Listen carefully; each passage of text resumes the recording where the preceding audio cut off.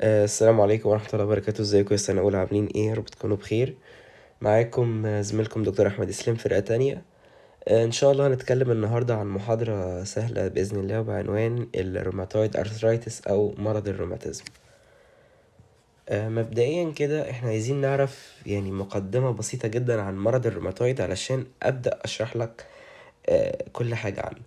هو طبعا أنت في مادة ال pharmacology هتركز أكتر على ال- ال therapy أو ال treatment بتاع المرض. ال epidemiology وال pathology بتاع المرض أنت بتعرفه فقط عشان تشوف أنت هتعالج إيه فيه. يعني هي حاجة مش مهمة قوي ليك في ال pharma يعني لكن هي مهمة في مادة مثلا زي ال pathology لكن إحنا هنا بدورنا هنشرحها وهنركز عليها عادي زي ال- الشرح علشان تكون معايا step by step وتبقى عارف أنت فين بالظبط.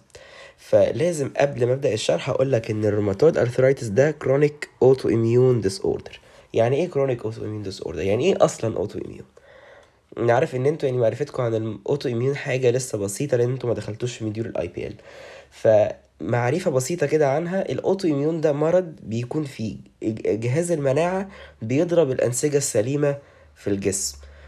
يعني إيه؟ يعني حصل abnormal immune response حصل رد فعل مناعة غير متوقع abnormal بصورة مش طبيعية مش أنا أنا مش متعود عليه. إيه اللي حصل فيه؟ حصل إن الخلية بتاعتي خلية سليمة جه جسم مضاد غريب ضرب الخلية دي وبدأ يكسر فيها. فبالتبعية كل مكونات الخلية دي على مستوى أنحاء الجسم بقت تتعامل على إنها antigen وبقت بتتضرب بجسم مضاد متخصص. ده تعريف ال autoimmune فمرض الروماتويد ده مرض chronic autoimmune حاجة بتعيش بالسنوات. وحاجة mortality يعني مميتة. فهو لو ما. لو ما اتحكمتش فيها وما حصلوش control يعني. فهو ال slide دي بس عايز تعرفني إن هي إن ال... ده autoimmune disorder abnormal immune response against individual own tissue. يعني ضد الجسم السليم بتاعنا أو المكونات السليمة بتاعت الجسم بتاعنا. آه ال rheumatoid arthritis ده أو مرض الروماتويد ده هيؤدي لإيه؟ هيؤدي إن هيحصل يعني خد بالك بقى هو يعني rheumatoid arthritis ده مقسم لمقطعين. كلمة روماتويد يعني روماتيزم أو يعني ال- ال- اللي هو بيكون فيه صعوبة في الحركة يعني و arthritis دي يعني التهاب المفصل.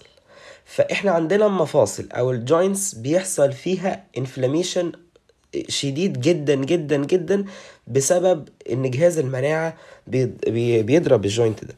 أنا هقول لك بالظبط إيه اللي بيحصل دلوقتي. أنا هنفرض إن إحنا عندنا دي ال cell دي ده ال joint بتاعنا. وجه جسم مضاد غريب ضرب ال cell دي. فكون عندي كده إن الخلية بتاعت ال joint حصل لها destruction اتضربت. ففقدت ال ال الوظيفة بتاعتها. فبقى عندها حاجة اسمها dysfunction يعني فقدت الوظيفة بتاعتها. فقدت الوظيفة بتاعتها نتيجة إيه؟ نتيجة ال complex اللي اتكون ده اللي هو عبارة عن ال antibody مع ال ال joint هو ده بالظبط التعريف بتاع ال slide دي كلها. هو بيقول لك إن بيحصل decline في ال functional status بتاعة ال joint ال joint دوره إيه؟ يتحرك. هيبقى ال joint مش هيتحرك. هيبقى هيعمل يحصل له disability هيحصل فيه dysfunction هيفقد مهمته. هيبقى مش قادر يتحرك هيبقى حصل فيه حاجة كده اسمها destruction يعني ال joint هيكون واقف مستقيم ما بيتحركش فهو ده بالظبط ملخص ال slide وبما إن اللي. ان إن ال joint ده أكيد طالما قلب chronic يعني مش هيبقى بيضرب ال joints بس هيبدأ الأول بالمفاصل الصغيرة ثم يقلب على المفاصل الكبيرة ثم يبدأ بقى يبقى حاجة اسمها extra-articular خرج بره ال joints بقى بيضرب organs سليمة يعني يروح بقى على القلب يروح على ال central nervous system أو ال neuro يروح على العظام يبدأ يعمل deformity في كل حتة في الجسم. يبقى أول حاجة إن هو هيعمل decline لل functional status بتاعت ال joint وهيحصل work disability ال joint فقد وظيفته. ال patient مش هيبقى عارف يحرك ال limb بتاعه ال limb ده اللي هو الطرف. سواء حصل بقى ممكن يحصل بقى inflammation أو الروماتويد تيجي في كو- في الكوع في مفصل الكوع ما يقدرش يحرك إيديه. تيجي في مفصل ال knee في الركبة ما يقدرش برضو يحرك رجليه. فممكن يحصل شوية مضاعفات يعني. Systemic complications. وهنا أهم حاجة برضو إن هي mortality وال comorbid- وال comorbidity. يعني إيه؟ إن نسب عدم الاستجابة للمرض والوفيات بتزيد لو ما تعالجش. وال medication اهو بيقول لك إن ال medication يعني الأدوية بتعمل slow the prognosis بتقلل ال prognosis لكن هي مش هتعالجه يعني ده مرض autoimmune ملوش علاج لكن فقط هتقلل بدل مثلا ما كانت ال case دي هتموت عشر سنين طبعا الحاجات دي كلها طبعا يعني يعني الدكتور بيتدخل فقط بيعمل اللي ربنا بيقدره عليه. فهو مثلا لو الحالة عشر سنين بيحصل prognosis تبقى خمستاشر سنة ما هو إن هو بس بيحسن ال prognosis بتاع المرض مش بي بي بيعالجه يعني. آه دي هنا يعني ال slide دي بصراحة يعني هي قراية ما فيش فيها حاجة تتشرح. إن هو بيقول لك ال effects إن هو بيأثر على من واحد لاتنين في المية من ال adult population من من السكان يعني. آه طبعا أي autoimmune common أكتر في ال women عن ال men أو عن ال male يعني common أكتر في ال female آه بيبدأ غالبا من سن 25 ل 40 فين أكتريته في ال female برضو لأن هو autoimmune مرض autoimmune آه لكن أي مرض بقى تلاقيه مثلا ضغط سكر حاجات دي هتلاقيها في الرجالة أكتر يعني. آه لكن ال autoimmune هتلاقيه في ال female عشان الهرمون بتاعت ال female بتساعد إن يحصل آه autoimmune آه بيعمل طبعا آه pain و disability و loss function في ال joint زي ما قلناها. بتحصل يعني ال risk بتاعه ال peak بتاعه أو خطورة المرض بتبدأ توصل بقى ما سن ال 40 وال 60 اللي هو مع تقدم العمر. نبدأ بقى أول شغلنا في الم... في ال... في ال module ده في محاضرة الروماتويد وهو عن ال pathophysiology ده هنقسمه أو ال... ال... السبب اللي أدى لحدوث المرض. هيتقسم ل two steps step 1 بتتكلم على ثلاث حاجات. ال synovial joint لوحدها ال rheumatoid factor اللي هو أدى لحدوث ال rheumatoid arthritis أصلا وبعدين ال cartilage وال bone مع بعضه. أنا اللي يهمني في الليلة دي كلها مين؟ يهمني ال synovial joint. ليه يهمني ال synovial joint؟ لأن هو أصلا arthritis. التهاب بيضرب المفاصل. فأنا هركز إن هي إن هنا أول حاجة هتحصل هيبدأ ب inflammation. وطبعا أنت عارف من ال general pathology بقى إن ال inflammation يعني redness hotness و swelling و edema. فهنا هيبدأ ال joint يبان شكله فيه pain يحصل يبقى يعني حتى بيظهر كده المريض ده بيعرف ان المفاصل الصغيرة بتاعته بتبدأ في إيديه يبقى فيها تبقى painful جدا لدرجة إنك تحط إيدك عليه ميبقاش مستحملها. فده بسبب إيه؟ بسبب ال inflammation اللي موجود في ال joint. وطبعا أي inflammation هيكون مصحوب بحاجة اسمها hyperplasia نتيجة إن الخلايا اللي هي ال inflammatory cells جت كتير فعملت هنا hyperplasia زودت الحجم بتاع ال cell دي. آه تاني حاجة إن auto antibody production اللي هو ال rheumatoid factor وده طبعا بيطلع إن ال T cell اللي هي ال T helper بتروح تنشط ال plasma cells اللي هي في ال B cell تروح مطلعة لي تعمل stimulate إنها تطلع لي antibody جديد تطلع لي اللي هو اللي أنا شرحته لك هنا اللي هو قلت لك إنها تبقى دي ال cell بتاعتنا بالظبط بالشكل ده كده دي ال cell وال antibody جه ضرب ال cell ده. هو ده بالظبط اللي ال T helper بتروح تروح عاملة stimulation لل لل B لل B cells أو ال plasma cell تروح مطلع لي antibody ضد الإيه؟ ال joint ده. آه، تالت حاجة هي عبارة عن إن ال cartilage وال bone هيبدأ يحصل فيهم بقى deformity يعني تخيل كده. أنا عايزك تتخيل معايا كده الموضوع بكل بساطة. أنا عندي الشكل بتاع الروماتويد. إن أنا عندي هنا آدي bone وآدي bone كمان. في بينهم هنا كده cartilage ده كده ال cartilage ودي كده ال bone بتاعتنا. هنا بقى ال synovial joint اللي موجود هنا حصل فيه abnormality ف already ال cartilage اللي هنا ده هيتضرب وال bone هيبدأ اللي حصل في ال cartilage يبدأ يدخل على ال bone فيبدأ يكسر في ال bone هي كمان. فكده أنا هيحصل عندي abnormality في ال cartilage وفي ال bone وممكن تحصل ان إن هو يفقد ال function بتاعتهم ويبقى المفصل ده ثابت ما يتحركش. ليه بقى بيحصل الموضوع ده؟ ده بيحصل بسبب severe stimulation لل cytokines وإحنا أظن أنتوا عارفين ال cytokines دي من باب المناعة في ثالثه ثانوي نوع ال cytokines دي اللي هي بتفرزها ال T helper ودي إنه أحد مكونات اللي هو اللي بتسبب الالتهاب. بتروح عاملة stimulate لحاجة اسمها osteoclast tumor necrosing factor alpha وإيه tumor necrosing factor alpha ده؟ ده أحد الأنواع اللي هي بتكون بتكسر أي خلية سرطانية بتظهر من نوع alpha وال osteoclast دي الخلايا اللي بتكسر العظم وعكسها osteoblast اللي هي بتبني العظم. فال osteoclast هتزيد فهيبدأ يكسر في العظم أكتر.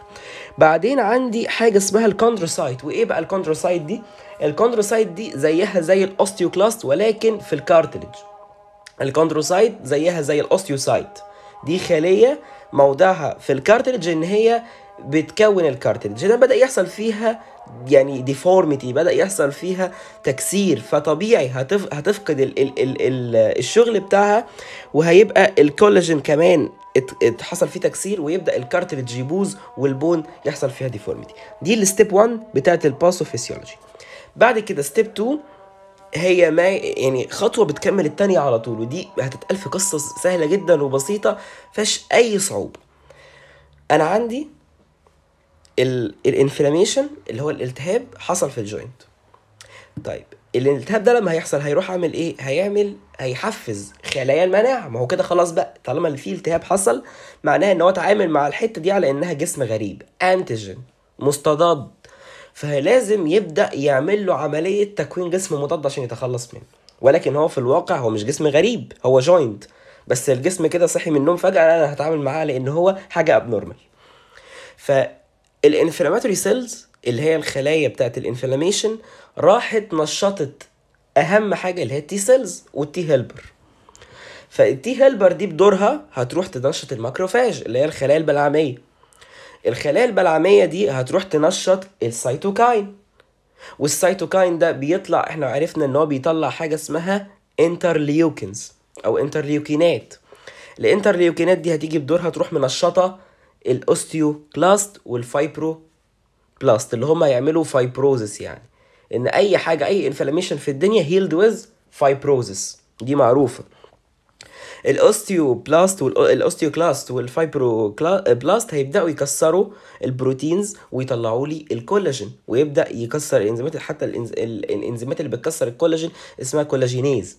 دي مش مهمة معاك قوي آه بعد كده يعني ال interleukins برضو بيطلع معاه tumor necrosing من نوع الفا بيبدأ يروح يكسر لي ال bone وال cartilage دي القصة ببساطة. نقراها بقى من هنا. أهو. ال inflammation عمل stimulate للخلايا T helper T helper راحت نشطت الماكروفاج. الماكروفاج عمل بروديوس للسيتوكاين. السيتوكاين طلع لي interleukin 6 وركز لي قوي قوي على interleukin 6 ال cytokine نشط لي osteoclast و fibroblast ال fibroblast وال osteoclast جم عملوا لي lysis لل protein اللي هو الكولاجين وطلعوا لي عن طريق ال collagenase. الخلايا دي لما طلعت عملت لي deformity في ال cartilage وفي ال bone خلصنا ال pathophysio اللي جاي ده كله يعني كده إيه, إيه زي ما تقول معلومات عامة. لو أنا جيت عايز أسألك سؤال كدكتور بقول لك إيه هي ال effects بتاعة ال rheumatoid arthritis على ال human body إيه اللي هيحصل؟ أول حاجة هتقول لي إن الخلايا المناعية بدأت تعمل تكسير في ال bone يعني ال bone هيبدأ يحصل تكسير فيه يعني هيبدأ ال bone marrow يقل فطبيعي ال bone marrow يعني في RBCs في white blood cells في platelets فهبدأ أكسر في ال bone فأكيد ال bone marrow هيتضرر فأكيد هيحصل انيميا بعد كده ال bone بيتكسر وال osteoclast زادت فممكن يحصل osteoporosis هشاشة عظام. دي طبيعية جدا. وبالذات أهو يعني هي حتى هو حدد لك المكان هنا بصراحة الحتة دي جميلة جدا يعني. إنهم most commonly في ال small joints اللي هي اللي هي أصلا بتبدأ تتضرب في ال... في ال rheumatoid arthritis آه طبيعي مريض الروماتويد ممكن تلاقي شكله يعني weight loss يعني بيخس. وبرده بيقول لك كمان من الأماكن اللي بيحصل فيها ال osteoporosis cervical spine اللي هم الفقرات العنق العنقية. بيحصل فيها osteoporosis أو هشاشه عظام بسبب ال cytokines اللي بتطلع. وممكن بقى يقول لك بيحصل amyloidosis في ال renal أو في الكلى ترسيب اللي هو ال amyloidosis اللي هو الاميلويد يترسب في ال kidney. فده هيعمل حاجة اسمها glomerulus أو اللي هو هيبدأ يعمل آه يعني هي ال glomerulus دي والموضوع ده كله هتدرسوه بالتفصيل في module ال renal فأنا مش عايز أتعمق فيه قوي لكن هو هيأثر على ال kidney بشكل مش حلو. ال amyloidosis ده لو ترسب في أي حتة بيعمل يعني لو ترسب في القلب أصلا ده fatal حاجة بت... مميتة. ال cardiovascular risk إن هو هيزود ال blood lipid ويعلي ال blood pressure يعني هيزود ال triglyceride مثلا اللي هو الدهون الثلاثية والكوليسترول ويزود ال blood pressure فممكن يبقى المريض ده مريض دهون ثلاثية فيضطر ياخد أدوية كوليسترول ويبقى مريض blood pressure فيضطر ياخد أدوية ال hypertension آه، ممكن بقى neurological complications يعني حاجات في ال في ال central nervous system أشهر syndrome بتحصل من في مرضى الروماتويد هي اسمها حاجة حاجة اسمها carpal tunnel syndrome بيبقى الشكل إن الإيدين هي زي ما في الصورة كده الإيدين بيبدأ شكلها عامل زي ال tunnel كده شبه النفق بسبب ال erosions والحاجات اللي حصلت في ال joint وفي ال bone وال cartilage فبيبقى شكلها كبيره شبه ال tunnel شبه النفق بيسموها وبتحصل أكتر في ال carpal bones اللي هم في في الكف آه فبنسميها carpal tunnel syndrome نيجي بقى لشغل ال pharma. المهم جدا. ال treatment of rheumatoid arthritis أنا دلوقتي عندي حالة جت مريض rheumatoid arthritis. هعالجه إزاي؟ الحالة بتاعة المريض بتتقسم لحاجتين. early treatment بدأت العلاج بدري و late treatment طب إيه بقى ال early treatment وال late treatment ده؟ ال early treatment ده long term benefit يعني هستفيد جدا منه. على ال long term هستفيد إن إن الحالة مش هتتدهور. وال disease هيكون no no effect على ال whole joint أو many joints هيكون slow prognosis ودي حاجة كويسة جدا في مرض الروماتويد. ال late treatment هيكون severe disease وحصل increase في incre هيحصل increase في ال mortality يعني نسبة الوفيات هتكون أعلى. إن هو كده يعني هو التشبيه اللي أنا هقوله ده صعب شوية ولكن هو يعني بيكون شبه ال cancer كده. فال cancer كل ما العلاج بدأ بدري ال prognosis بتاعه بيكون كويس. لكن اتأخرت والدنيا بدأت تتدهور وبدأ ينتشر فنسبة ال mortality أو الوفاة بتكون عالية. ال disease بقى هيبدأ يروح ل many joints ويبدأ يأثر على ال other organs أو ال systems التانية. ال drugs اللي هنعالج بيها ال rheumatoid arthritis مقسمين إلى ثلاث عائلات كبيره ال glucocorticoids أو الكورتيزونات وأي مرض هتلاقيه في الدنيا هتلاقي كلمة كورتيزون موجوده ال non steroidal anti inflammatory drugs أو اللي هي مسكنات بمعنى أصح. اللي هي مضادات الألم والالتهاب زي الكتافلام أشهر واحد والكيتوفان. دول non steroidal anti inflammatory drugs وال DMARDs دي اللي هي اللي هي أصل الأدوية اللي اتعملت خصيصا لل rheumatoid arthritis اللي هي حتى اسمها drugs modifying anti rheumatic drugs اسمها كده. وهو ده الموضوع اللي المحاضرة كلها قائمة عليه.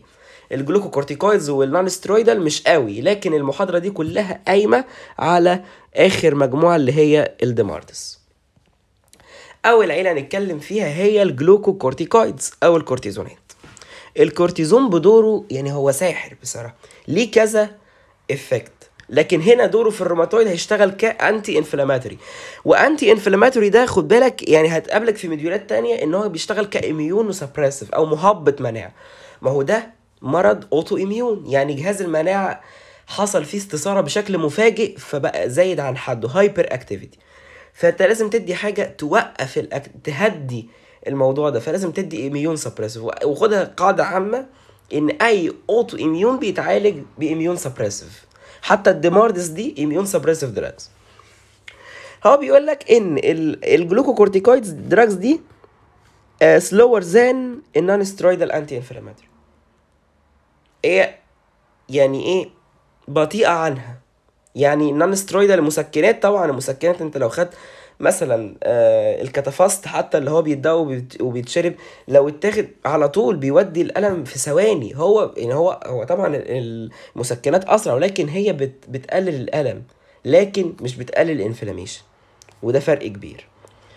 آه لكن هو بيقول لك ان ال glucocorticoids دي برضو أسرع من بعض ال DMARDs أسرع من بعض الأدوية إنها بتاخد long acting إن ده علاج طويل الأمد. فأعتقد طبعا الكورتيزون هيكون أسرع منه آه بيتاخد من الحالات اللي هي mild و moderate يعني الحالات اللي هي لسه في البدايات.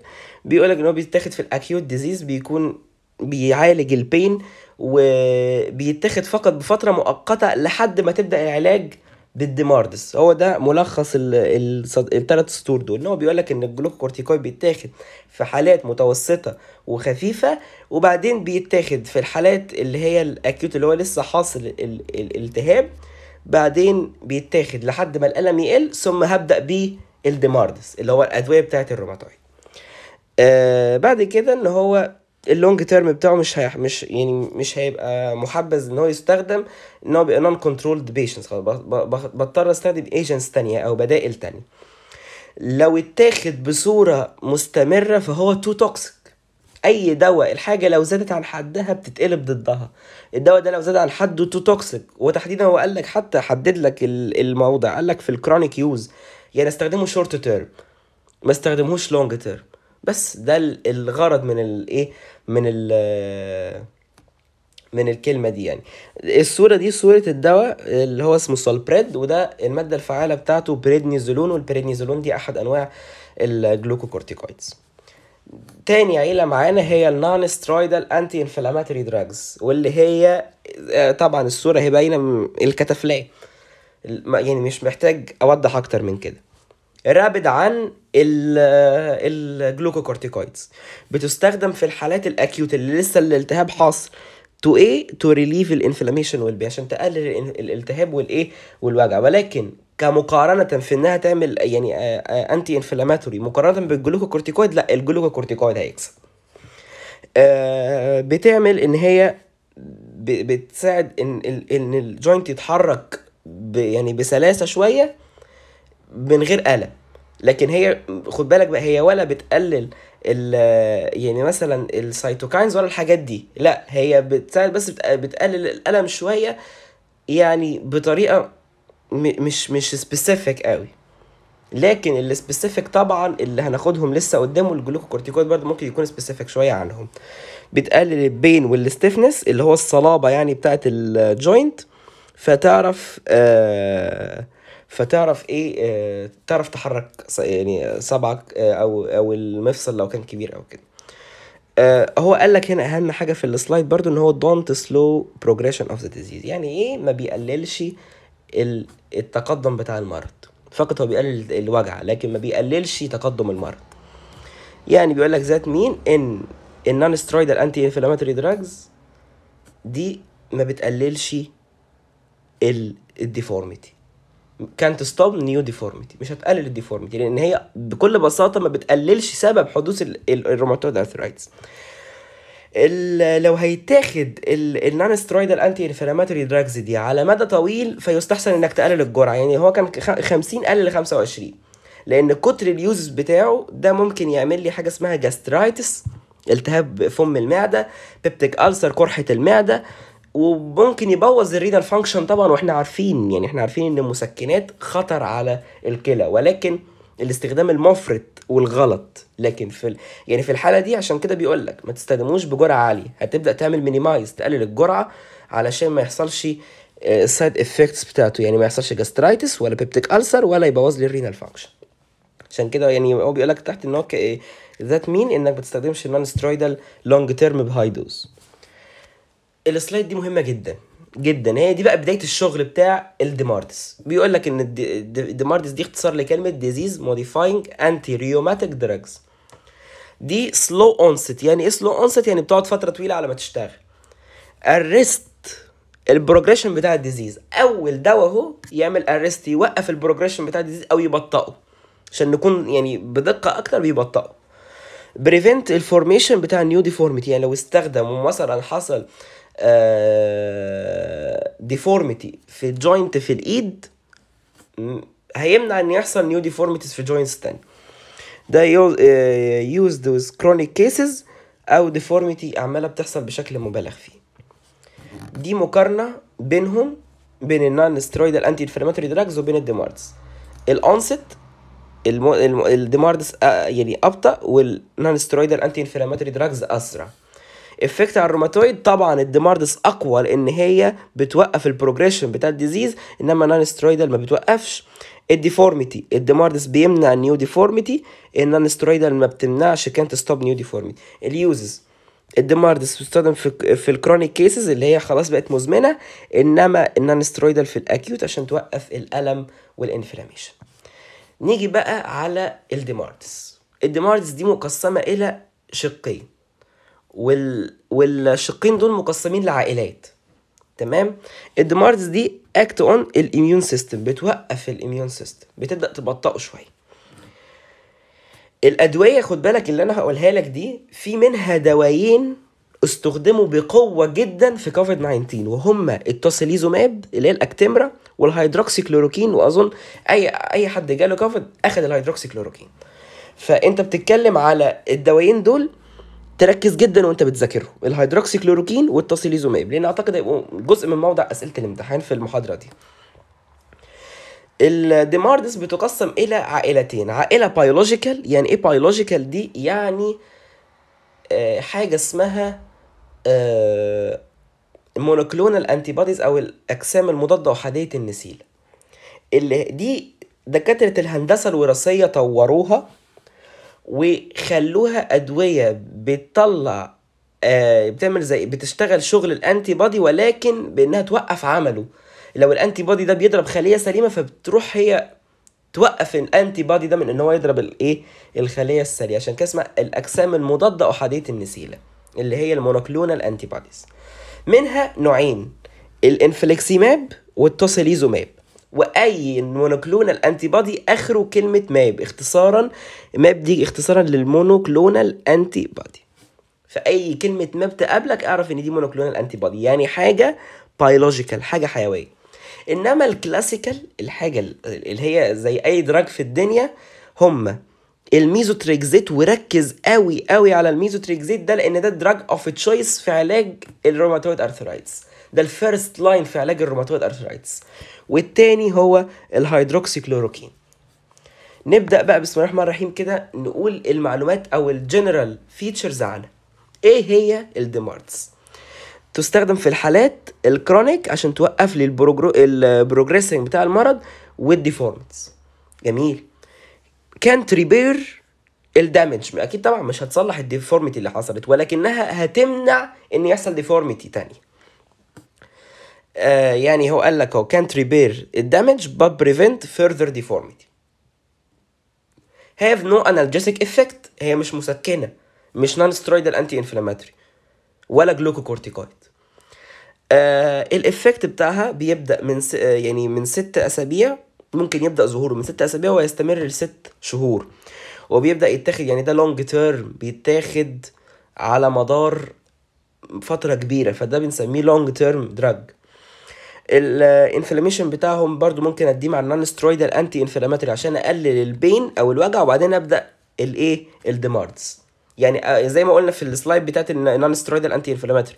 هديها لحد ما يبدأ الالم يقل ثم اتبعها على طول بال DMARDs عشان ابدأ اعالج الموضوع ويعني يحصل handle الموقف ما ما ما يكترش مني أول دواء معانا هو الميزوتريكزيت.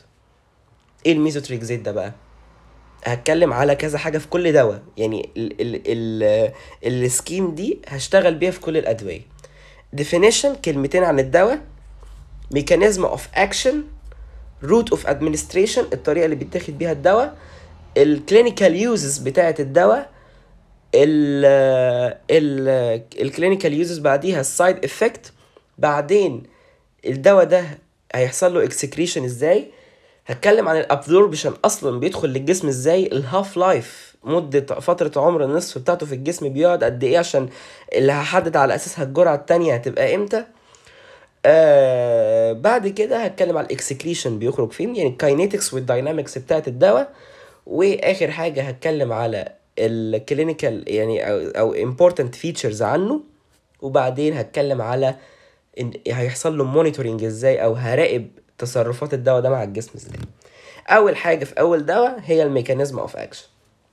مين الميزوتريكزيت ده؟ ده anti cancer drug ب high dose anti rheuma anti anti rheumatoid arthritis بال low dose كويس قوي يعني هو دواء يعني magico ليه؟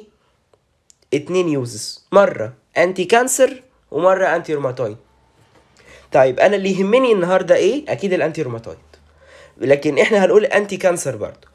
بيعمل inhibition في حاجة اسمها dihydrofolate اللي هو ال folic acid وطبعا أظن بعضنا سمع عن ال folic acid الإنزيم اسمه دي dihydrofolate reductase بيعمل له inhibition الإنزيم ده بيروح أصلا هو دوره الإنزيم ده بيعمل for يعني formation أو بيكون لي ال thymidine وال pu وال purine ودول قواعد بتدخل في تكوين ال DNA وال RNA فهو كون إن هو منع ال ال ال ال ال purine وال thymidine يكونوا فهو منع إن يحصل DNA فمنع ال proliferation فمنع إن يحصل تكاثر للخلايا فمنع إن يكون في سرطان.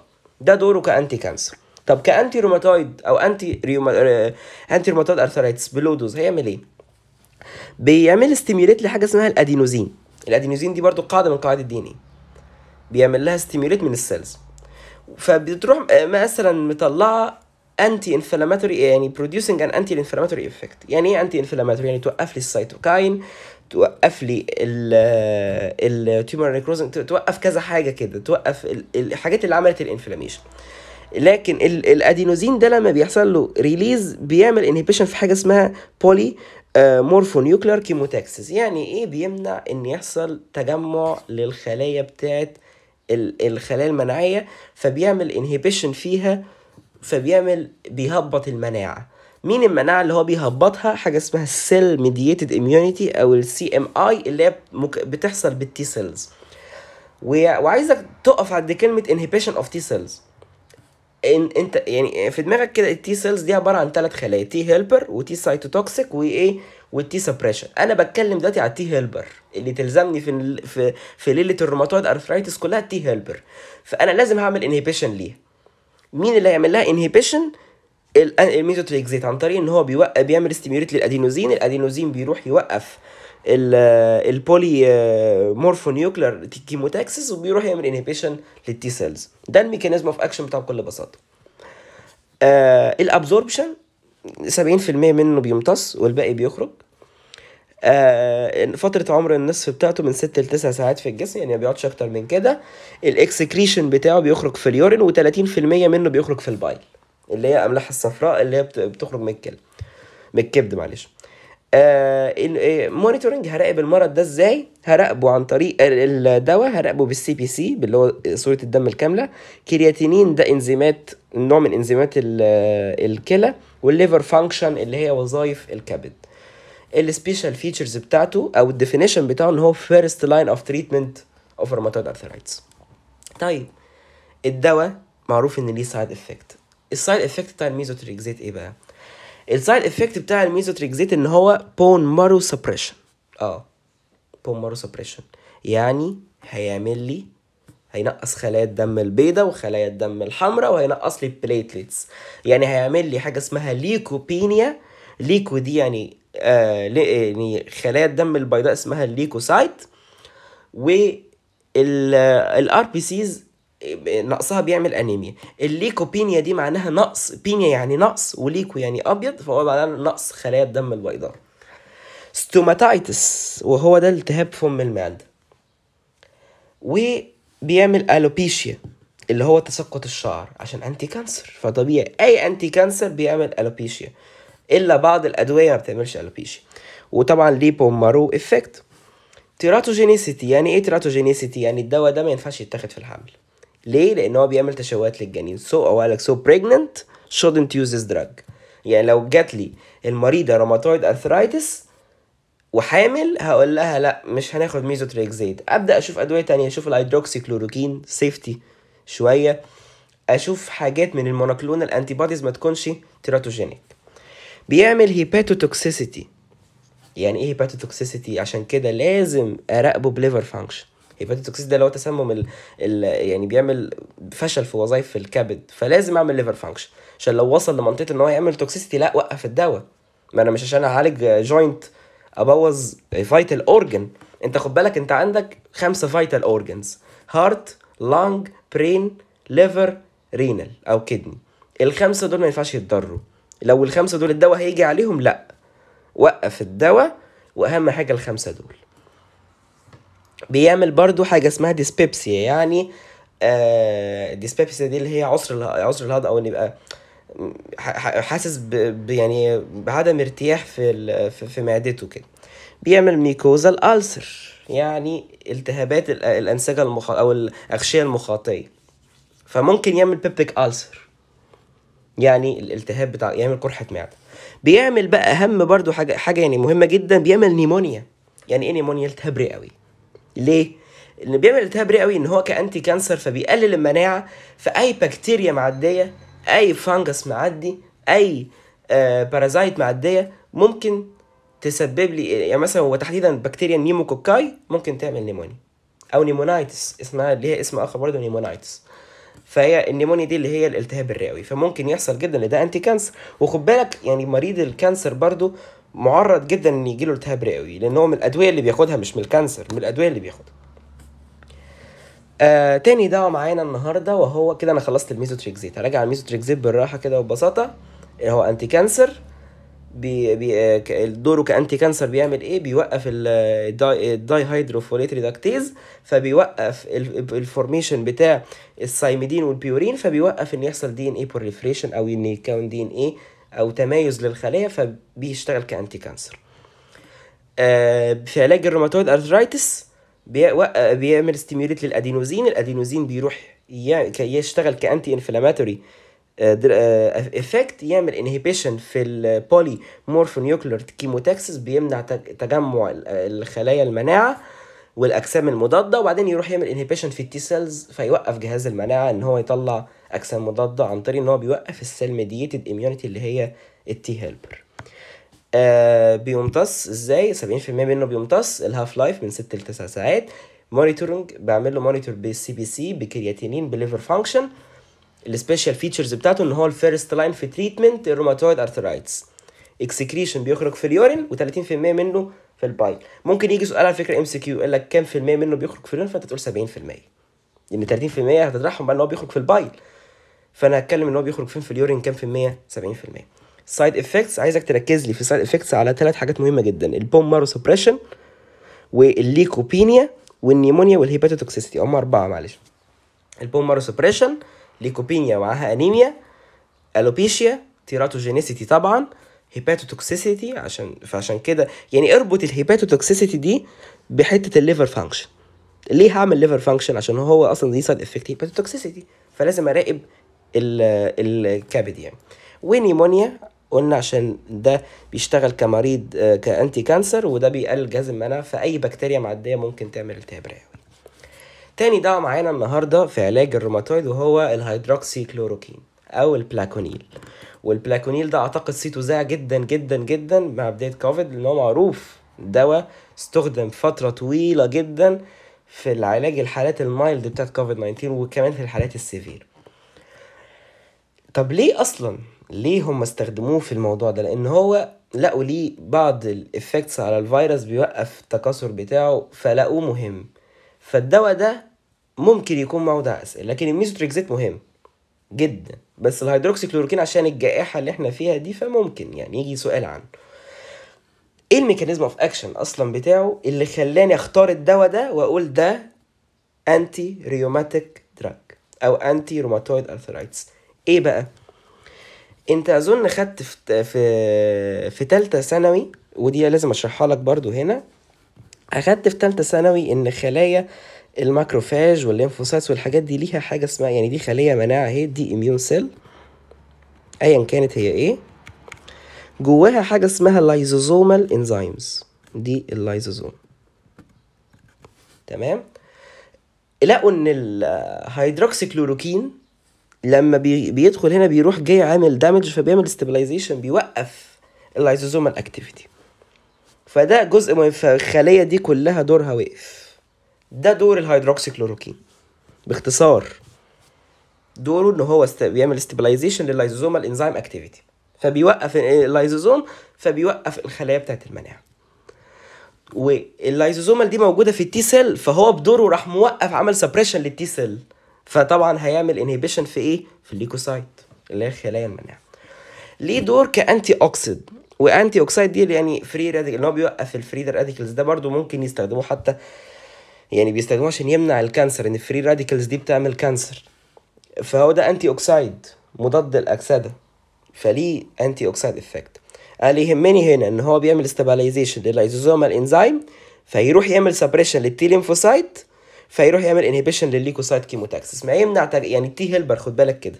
أنا T lymphocyte المهمة اللي بتخصني هي ال T helper cell أنا وقفت ال T helper فطبيعي ال T helper مش هتعمل chemotaxis مش هتجمع لي مش هتفرز cytokine مش هيجمع لي الايه خلايا المناعة عشان تروح ناحية ال joint ده تضربه وتطلع له اسمه مضاد. ده دور. هنا هو بيقول لك يعني إيه؟ إن ال rheumatoid arthritis ده autoimmune disease قالها لك في أول slide يعني problem في ال immune cells فعشان كده أنا لازم أوقف ال immune cells علشان أعمل لها inhibition في ال chemotaxis قال لك هو بوقف ال white blood cells عشان أقلل ال inflammation وأبدأ أعمل inhibition لل cell دي وأعالج المرض. يعني ال slide دي بصراحة يعني الحتة اللي بالأبيض دي ما تركزش عليها أو إن أنت المفروض تكون فهمتها من ال slides اللي فاتت. ال absorption rapidly absorbed بيمتص بسرعة جدا. ال half life بتاعته up to يعني 45 يوم.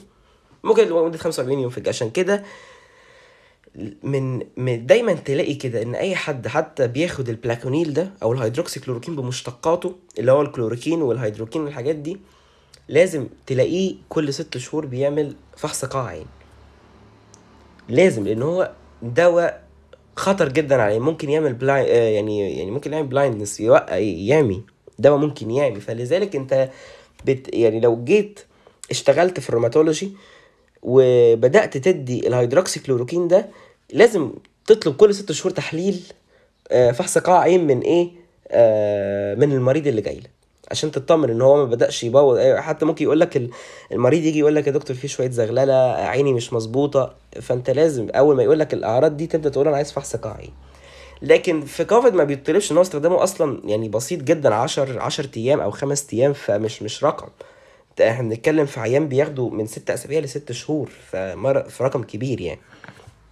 ال side effect بتاعه يعني بيقول لك least toxic ما بيحتاج يعني no blood test required آه هي أهم حاجة إن هو يعني هو بيعمل طبعا nausea vomiting والحاجات دي corneal deposition آه هنا بقى بدأ بيتكلم على المظاهر بتاعت اللي, اللي بيعملها في العين. يعمل corneal deposition يبدأ يرسب بعض البروتينات فين؟ في ال cor- في ال cornea بتاعت العين ويعمل irreversible retinal damage وخصوصا ال hydroxychloroquine ال retinal damage ده بيبدأ يبوظ ال retina بتاعت العين فيبدأ ممكن يعمي ده ممكن يعمي فعلا. آه monitoring إزاي؟ بعمل له monitor إزاي؟ أهو قلنا ophthalmologic evaluation يعني بعمل فحص قاع عين كل ست شهور. بطلب فحص قاع عين. عشان أتأكد إن الدواء ان هو بياخد بالك بيقعد خمسة يعني ال half life بتاعته بيحصل له excretion بعد 45 يوم. فأنت متخيل بقى يعني هو لو أنت مثلا قعدت تديه ست شهور فأنت متخيل بقى الجرعة الواحدة هتخرج بعد 45 يوم في قد إيه؟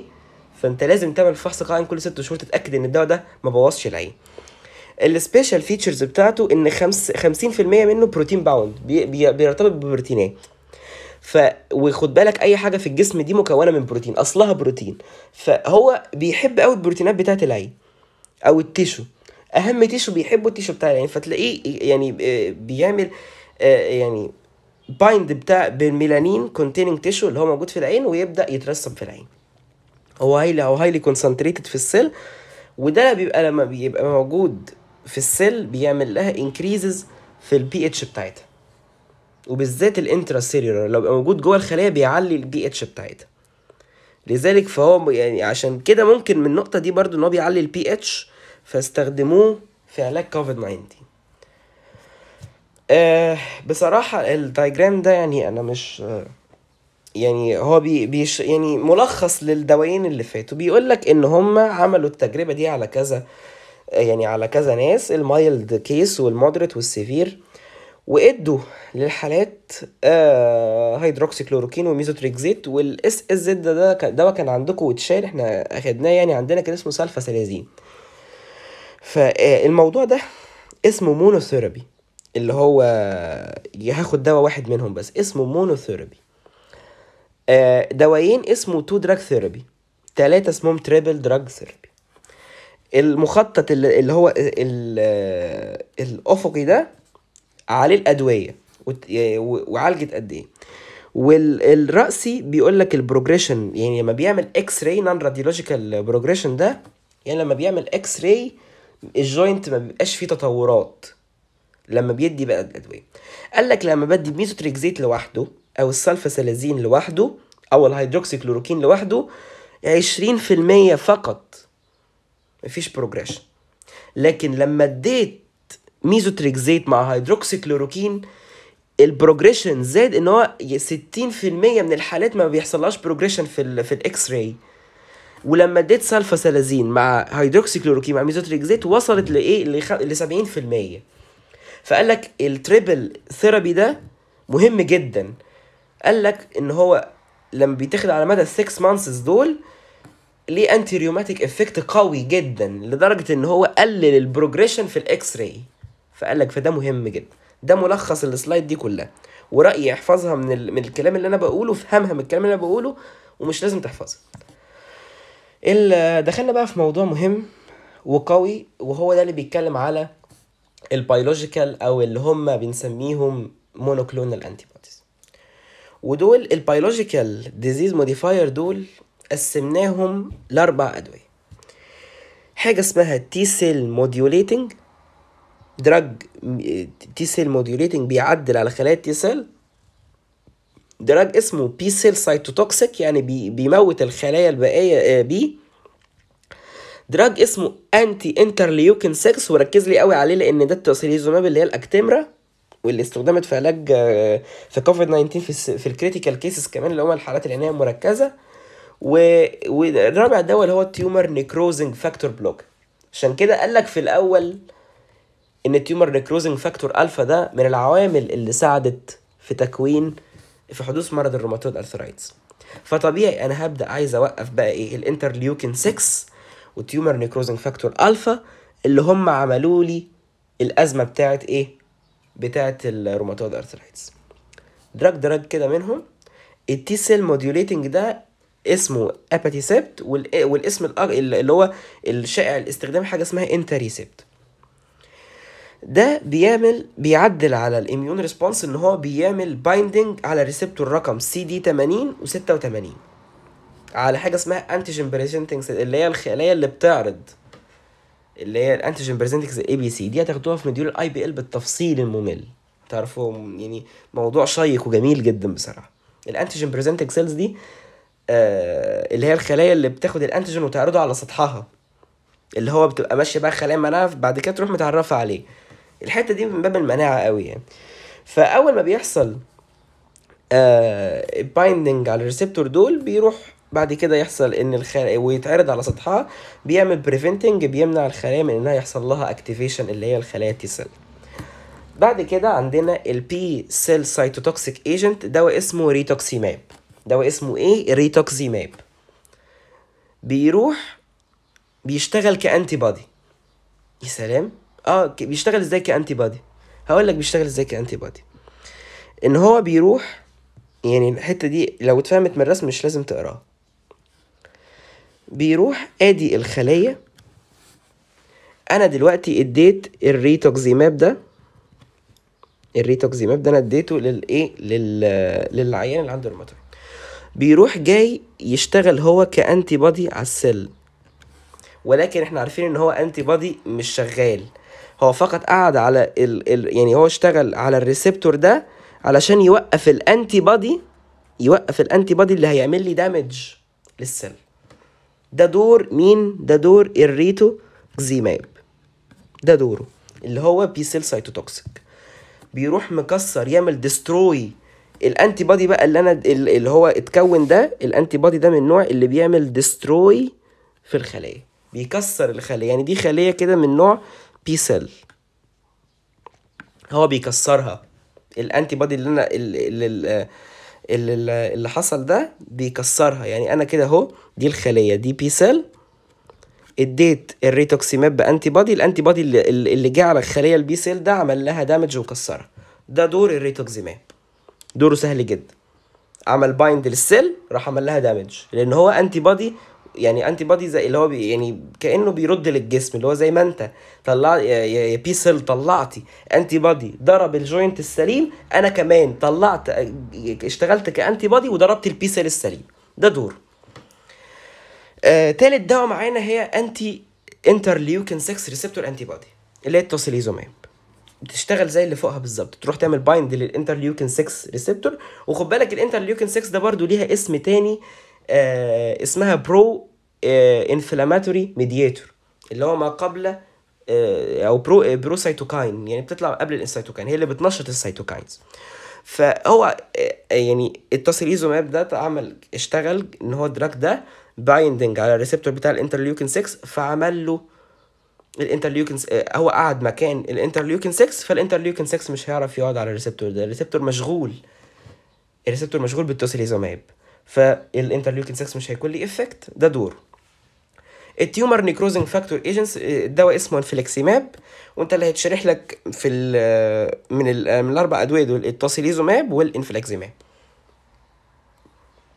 التوسيليزوماب ده الانفليكسيماب دي تشتغل برضو ك antibody اظن أنت خلاص عرفت يعني إيه antibody يعني هتروح للخلية اللي هي ال tumor necrosing factor من نوع الفا وتعمل لها inhibition وتكسرها. فتعمل inhibition انها ما تطلعش cytokines فما يحصلش inflammation ال tumor necrosing factor دي بتطلع cytokines تمام؟ دور بقى ال infliximab ده بيطلع antibody يقعد على ال tumor necrosing factor alpha يمنعها من إنها تطلع cytokine فما يحصلش inflammation تمام؟ نبدأ بقى ده اللي بيقول لك ال role بتاع ال tumor necrosing factor إحنا قلنا ال normal tumor necrosing factor bind على ال receptor ده ال normal اللي ما حصلش فيه أي حاجة. ال first mechanism بتاع الدواء ال infliximab بيعمل prevent ال tumor necrosing factor إنها تقعد على ال receptor ده. يعني رقم واحد الخطوة رقم واحد بتقفلها الخطوة رقم اتنين. آه الخطوة رقم ثلاثة إن ال tumor necrosing factor ده يعني ال receptor بتاعتها soluble وبتعمل neutralize لل tumor necrosing factor ال second mechanism بتاع ال etanercept إن هو buffer بيعادل ال soluble اللي حصل ده ويروح عامل مدوب ال tumor necrosing factor ولا كأنها ليها لازمة. ده الدور بتاعه. يبقى ال first mechanism اتقفل بال step قفل ال step رقم واحد. وال second mechanism قفل ال step رقم ثلاثة ده دور. طيب إيه دور ال tumor necrosing factor أصلا علشان يعمل لي joint destruction قال لك إن ال arthritis اللي حصل أو التهاب المفاصل اللي حصل ده هيخلي ال tumor necrosing factor يعمل stimulate لل... إن هو يعمل bone resorption يعني هيزود ال osteoclast ويعمل bone erosions bone erosions ده يعني تشوهات في العظم تمام؟ يعني كده هيحصل bone resorption بال osteoclast وهيعمل لي bone erosions دي حاجة معروفة. طب في حاجة اسمها synoviocyte اللي هو الخلايا بتاعت الايه؟ ال synovial joints هيحصل فيها inflammation فال synovial fluid هيحصل فيه برضه هو كمان destruction يعني يبدأ ما يتفرزش فيعمل لي inflammation تخيل بقى كده. سحبت ال cartilage وسحبت ال fluid ال bone عمال بيخبط في بعضه. انت متخيل ال pain اللي اللي هيبقى اللي بيبقى فيه مريض يعني ربنا يحفظنا؟ ال pain بتاع الروماتويد بيكون صعب جدا العظم بيخبط في بعض مع أي حركة بيتوجع. ال chondrocyte اللي هو الخلايا بتاعت ال cartilage يحصل فيها degradation أنا قلت لك هو تخيل سحبنا ال cartilage وسحبنا. ال fluid بتاع ال synovial joints. فال space هتبدأ يحصل لها narrow بين العظم هيحصل narrow بين العظم ال cartilage بقى بدأ يقل في الحجم فالعظم يقرب من بعضه ويبدأ يخبط في بعضه فيحصل bone resorption و cartilage degradation نبدأ بقى نتكلم على أول دواء اللي هو من الأدوية دي يعني اللي هو ده الدواء رقم ثلاثة معانا. واول أدوية في ال في ال disease modifying اللي هم tumor necrosing factor alpha blocking agents اللي هو بيقفل ال tumor necrosing factor من النوع alpha ال definition بتاعه هو IgG 1 monoclonal antibody يعني حاجة مصنعة شبه الاي جي جي ده أحد اجسام المضادة اللي هم مجمعين في كلمة ماجد M A G E D إحنا اللي يخصنا اي جي جي 1 ده نوع منهم monoclonal antibody لقوا إن هو ليه دور في حدوث ال rheumatoid arthritis طب ال mechanism of action بتاع الدواء ده إيه زي ما أنا قلت لكم هنمشيها بالترتيب كده. ال mechanism of action هو بيعمل complex مع ال soluble إيه؟ tumor necrosing factor alpha اللي هو بيعمل لها block لل... فمش هيدوب فهيعدي ال membrane ويوقف عمل الخلايا. فهو قال لك هو هيحصل إنه bound هي possible membrane يعدي الممبرين ويعمل prevent بقى أول ما يدخل الخلية سير surface receptor يعمل يبوظ ال receptor بتاع الخلية. فيعمل down regulation يوقف ال macrophage وال T cell أنا الليلة دي كلها داير إن أنا أوقف مين؟ ال T cell ال T helper علشان إيه؟ علشان أمنع إن ال T helper تطلع interleukin 6 أمنع ال interleukin 6 إن هو يطلع لي cytokine أمنع ال cytokine إنها تنشط ال B cell أمنع ال B cell إنها تطلع antibody بالترتيب كده. خدها بالترتيب كده. ال T helper وال macrophage. هوقفهم عن العمل. ال T helper مش هتطلع interleukin 6 مش هيطلع cytokine مش هيطلع plasma cells مش هيطلع antibody ده دور الأدوية كلها اللي بتعالج الروماتويد. ال route of administration بيتاخد intravenous intravenous infusion ما تركزش في الجرعات قوي يعني وبيتاخد من اتنين من عشرة آه، م- يعني بيتاخد الجرعة بتاعته من ست لتمن أسابيع يعني من صفر لاتنين تبدأ تظبط الجرعة دي. الجرعة دي بيظبطها دكتور الروماتويد يعني هي كبيرة على إنك تعرفها دي هتعرفها في الباطنة إن شاء الله بالتفصيل في ال rheumatology. ال half life بتاعته من 9 ل 12 يوم. تمام؟ ده شكل أهو اسمه آه، ريميكيد. ده اسم الدواء اللي هي اللي هو اسمه infliximab ال clinical uses طب أنا جايبه النهارده عشان أستخدمه في إيه؟ في ال rheumatoid arthritis يبقى هو بيستخدم في الحاجات برضو في ال autoimmune اللي شبه يعني اللي زي الروماتويد حاجة اسمها مرض إمي- autoimmune اسمه ankylosing spondylitis و Crohn's disease و ulcerative colitis دي أدوية دي أمراض autoimmune بستخدم فيها ال infliximab دي. علشان ال mechanism بتاعها قريب شوية من مين؟ mechanism ال rheumatoid arthritis قال لك إن الدواء ده بيحصل combination مع ال methotrexate وال hydroxychloroquine و other drugs وبيبقى قوي جدا. وأنا وريتك المخطط ال diagram اللي هو كان بيشرح ال progre... ال progression على ال radiological اللي هو على ال X-ray أو على ال MRI أو على ال CT بيوريك ال progression بتاع المرض. لو أنا كمان اديت infliximab مع الأدوية دي و other DMARDs هعرفها جدا إن ما يحصلش deformity في ال cart في ال joint أكتر من كده. طيب أنا عايزك تتخيل كده دواء بيهبط المناعة. يتخيل معايا دواء بيهبط المناعة. ال side effect المحتمل بتاعه إيه؟ أي بكتيريا معدية يعني أعرف كده. زيه زي ال- الميزوتريكزيت أي بكتيريا معدية هتعمل لي التهابات شديده أشهر التهابات بتحصل اللي هي ممكن تخش لك مع النفس فده إيه؟ upper respiratory tract infection. Activation of latent tuberculosis. يعني ممكن ياخد بكتيريا TB أو هو مثلا كان عنده TB وكان خامل علشان مناعته قوية. خلاص انت هبطت المناعة كده كده. ده انت وقفت ال T helper.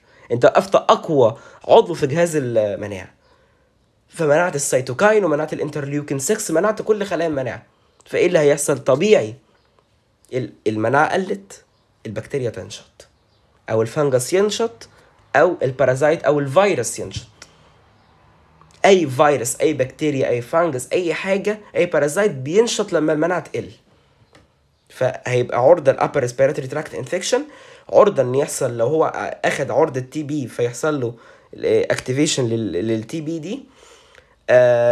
infusion site reaction ممكن يحصل حساسية مكان اللي إحنا ادينا فيه آه الحقنة. headache صداع cough يكح نتيجة ال respiratory tract infection طبعا يعني. increase the risk بتاع ال skin cancer ممكن يحصل skin cancer وأشهر أنواع ال skin cancer اللي بتيجي بسببه هو الميلانوما. آه الدواء ده بما إن هو جسم مضاد مصنع اي جي جي 1 مصنع chimeric مصنع يعني مصنع يعني دواء مش يعني مش مش آه، مش أنا عامله سليم مش خارج من جسم بني آدم فده مصنع. فطبيعي جهاز المناعة بقى اللي موجود ده بالنسبة له ده بجد ده antigen فيبدأ يتعامل معاه لأن هو جسم غريب. فيبدأ يعمل له rejection يرفضه. فأنت علشان to prevent ال rejection اللي ممكن يحصل ده بستخدم ال drug مع الميزوتريكزيت لو واحد منهم يعني الميزوتريكزيت بيهبط المناعة قوي وده فيبدأ جهاز المناعة أصلا ك- حتى لو في antigen برضو قوي وعادي بيسيبه. خلاص ما هو مش قادر يشتغل. موقف انت ال ال ال الأدينوزين طلع اللي هو من الميزوتريكزيت راح موقف ال يعني عمل inhibition لل cytokine chemotaxis وال polymorphonuclear chemotaxis فوقفت جهاز المناعة. آه كده خلصنا ال infliximab نيجي لآخر دواء معانا النهارده إن شاء الله اللي نختم بيه المحاضرة وهو ال tocilizumab أو ال Actemra هي حقنة ال Actemra وده وده الشكل بتاعها. حقنة ال Actemra دي اللي هي استخدموها في كوفيد 19 اللي هي في منها 200 و 400 مللي جرام. آه واتشالت من البروتوكول علشان كانت بتعمل severe infection بيؤدي لل black fungus اللي هو الفطر الأسود لما بيتاخد مع ال glucocorticoid عشان بيعمل severe inhibition في المناعة. يعني ده, ده يعني الحقنة دي قوية جدا. يعني دي بقى اللي تستخدم في يعني في حالة rheumatoid arthritis مستعصية قوي. إن هو ده بقى دواء بيوقف ال interleukin 6 ذات نفسه. يعني بيوقف عمدة جهاز المناعة. اللي هو ال interleukin 6 ده يعني هو ال interleukins دي أرقام كتير بس interleukin 6 ده أقوى واحد فيهم. إن هو بيوقف بيطلع ال cytokine وال cytokine تروح تنشط الخلايا. ليلة. فهو ال definition بتاعه إن هو interleukin 6 ده pro-inflammatory cytokine بيعمل joint و cartilage damage دور بقى ال Actemra أو ال tocilizumab دي إنها توقف لي الشغلانة دي. ما توق... يعني مش مش يعني هي انتي interleukin 6 بتعمل إيه بقى؟ أنا علشان أوقف الدواء ده لازم آه يعني عشان أوقف قصدي أي حاجة في معينة لازم أجيب حاجة تقعد في ال receptor بتاعها فتعمل لها inactivation فإحنا هنجيب الت- ال- ال tocilizumab على آه، على ال membrane بتاع ال interleukin 6 receptor. فهتعمل blocking لل activity بتاعه فهتوقف ال cytokine هتوقف ال osteoclast وتمنع ال activation بتاعهم فمش هيحصل. لا bone erosion ولا joint damage ولا synovial fluid damage مش هيحصل damage فيه. ال route of administration بيتاخد بتتاخد intravenous زي اللي قبلها. ال half life على حسب الجرعة. يعني دي dose dependent على حسب الجرعة. لو 200 ليها half life معينة لو 400 ليها half life معينة هو ما ذكرهاش عندك. ال clinical uses قال لك في ال monotherapy يعني ك... كعلاج لوحده في ال adult اللي عندهم rheumatoid arthritis وفي ال children اللي هم أكتر من سنتين في حاجة مرض اسمه systemic juvenile arthritis ده مرض بيجي بسبب ال ال ال juvenile دي اللي هي ال يعني آه، اللي هو بيبقى عنده arthr مولود ب arthritis عنده مشكلة في ال- في المفاصل بتاعته طفل مولود بيها. فبعد السنتين بتبدأ تدي إيه؟ tocilizumab اسمها systemic juvenile arthritis بيستخدم في combination مع ال methotrexate و other آه DMARDs من ال non biological يعني هيدروكسيكلوروكين آه سلفاسلازين حاجة من الحاجة. هو ما شرحلكوش على فكرة السلفاسلازين ولا الحاجات دي. يعني شرح لك فقط الميزوتريكزيت والايه والهيدروكسيكلوروكين هو ممكن يتاخد في combination معاهم آه فيوقف الايه ال tumor necrosis factor blocker ويمنع يعني إن يحصل progression قوي للايه لل rheumatoid arthritis ال side effect بتاعه. ممكن يعني ده بيتعمل له اختبار لأن هو infusion reaction ممكن يعمل allergy في المكان بتاع الايه ال- يعني احمرار بقى. allergy حساسية يعني يعمل احمرار يعمل آه آه يعني مثلا المكان ده يعمل edema يحمر فهو ده ال infusion reaction يعني. Serious infections. دي قلناها. أي حاجة بتهبط أي دواء immunosuppressive اعرف إنه هيعمل serious serious infection لازم يعمل serious يعني serious infection دي اللي هي عدوى خطيرة. يعني تجيب بكتيريا بكتيريا ممكن تموت. يعني اللي عيان أصلا ما يكونش مات من ال rheumatoid arthritis ومات بسبب البكتيريا اللي جات له من ال immunosuppressive اللي أنت بتديه. جاله tuberculosis جاله سل جاله fungus infection موته عادي. ده اللي اللي حصل مع أغلب المرضى اللي هو بسببهم وقفت ال tocilizumab اللي هو لما في كوفيد ادوه حصل severe inhibition في المناعة فحصل نتيجة لكده إن ال- ال fungus يعني ال black fungus ده الفطر الأسود ده أصلا موجود في حياتنا الطبيعية ولكن نشط لما جهاز المناعة آه وقف مرة واحدة. increase بيعلي الكوليسترول بيعمل neutropenia و thrombocytopen يعني إيه neutropenia اللي هو neutrophils بنقللها ال neutrophil دي أحد أنواع خلايا الدم ال- البيضاء بيعمل لها neutropenia وبيعمل leukopenia برضو يعني. و thrombocytopenia بيقلل ال platelets ال thrombocytes ممكن يعمل bleeding ممكن يعمل bleeding آه فبيتوقف ال drug ده بيتوقف يعني بطريقة معينة كده ولازم تعمل monitoring لكل الحاجات دي وانت بتوقف الدواء عشان ما يحصلش منك أي آه مشكلة. decrease the n white blood cells. يا سلام يعني ما انت neutropenia هي هي the white blood cells. فدول side effect اللي المهم في ال side effect ده إيه؟ ال serious infection وال neutropenia وال thrombocytopenia مهمين جدا. آه وبيعلي ال liver enzymes يبقى أكيد لو انت هتعمل monitoring للدواء ده هتعمل إيه؟ أكيد هراقب ال liver enzymes وأكيد هعمل CBC عشان أتأكد من ال white blood cells ما نزلتش عن الحد ال- الأقصى. يعني هو ما نزلتش عن أربعة. نزلت عن اربعه أبدأ بقى أشوف أظبط الموضوع عشان ما يحصلش مني برضو إيه مشكلة تانية. ف blood tests بتتاخد كل بيتعمل كل شهر عشان أشوف الكوليسترول وأشوف ال liver function وال white blood cells. طيب إيه ال clinical features بتاعت الدواء ده؟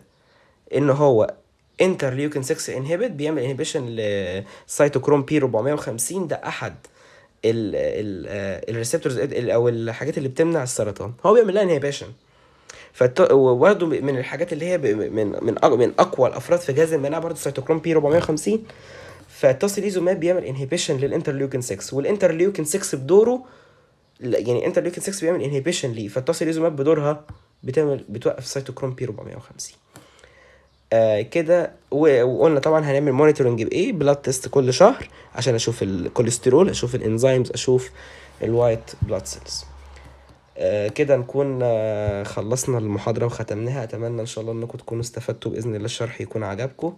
آه وبإذن الله بإذن الله المحاضرة تكون سهلة بالنسبة